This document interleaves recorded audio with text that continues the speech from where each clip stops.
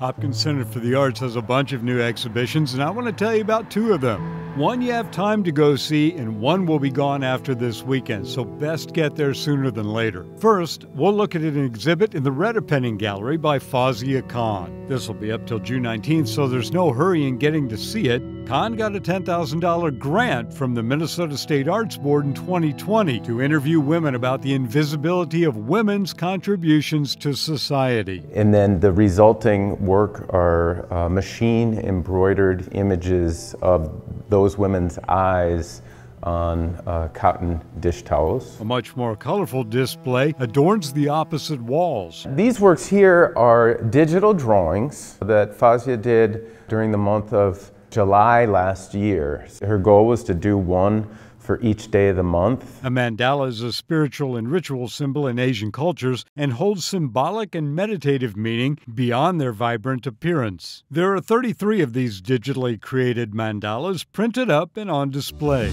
Moving out into the main gallery, I wanted to mention the Artist Spotlight portion currently occupied with works from local artist Maureen Cater. She was a middle school art teacher in Edina for many, many years, uh, now retired and focusing on her work. She works primarily plein air, uh, that is painting outside.